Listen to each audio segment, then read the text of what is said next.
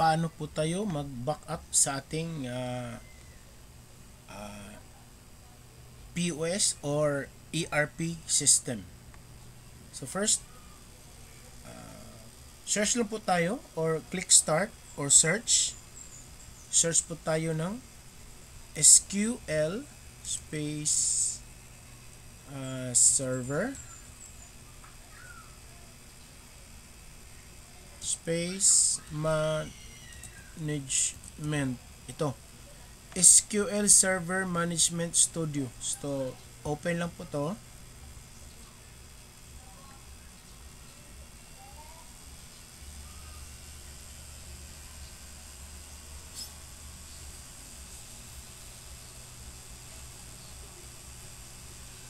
Okay lang kahit uh, anong uh, version ng SQL uh, Server Management Studio.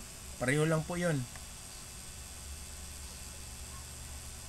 then server name uh, open parenthesis local then close parenthesis and then connect lang dito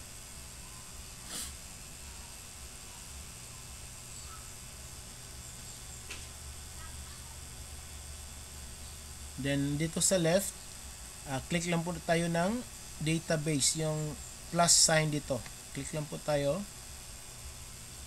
Then meron po tayong makitang Wow ERP. Click isang click and then right click.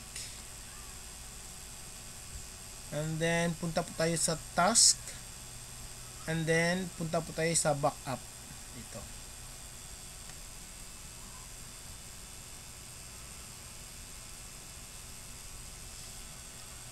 Then, uh, kung meron po tayong naka-save dito, uh, click na, i-remove mo na.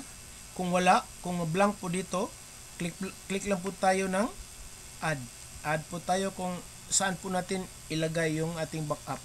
So, browse lang po tayo. And then, uh, example, ilagay ko po ito sa drive D. Drive D lang. Okay?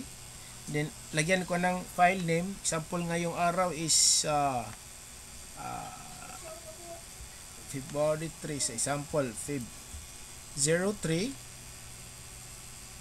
dot uh, February 3 dash 2021 dot back. Dot back. So kung uh, ano nga ilagay nyo dito kahit anong file name lagyan ng dot back and then press lang ng OK then OK then press OK lang. So mag execute po yan. So 80% 100% so the backup of database 1 ERP is completed successfully. So okay na po yon lahat ng mga nasa mga data natin, mga setup, mga reports, lahat naka-backup na po yung lahat. Pati na yung mga license code, everything po naka-backup na yun lahat. So yun lang po ang pag paano tayo mag-backup ng ating uh, ah, ERP system or POS system.